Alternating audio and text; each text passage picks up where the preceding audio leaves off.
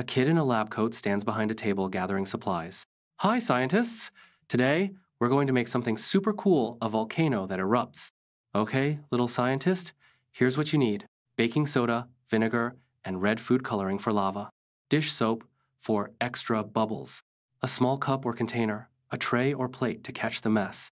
Step 1 Put two or three spoonfuls of baking soda into your volcano cup. Adds food coloring and dish soap. Step 2 Add a few drops of red food coloring and a squirt of dish soap. This makes it bubbly and fun. Now, it's time for the magic. Step 3 Slowly pour in the vinegar and watch what happens. The fun eruption begins. Whoa, look at that lava flow. It's fizzing and bubbling like a real volcano. What's happening here? It's science. The baking soda, a base, and vinegar, an acid, mix together and create carbon dioxide gas. That's what makes it fizz and erupt. And that's how you make your own volcano at home.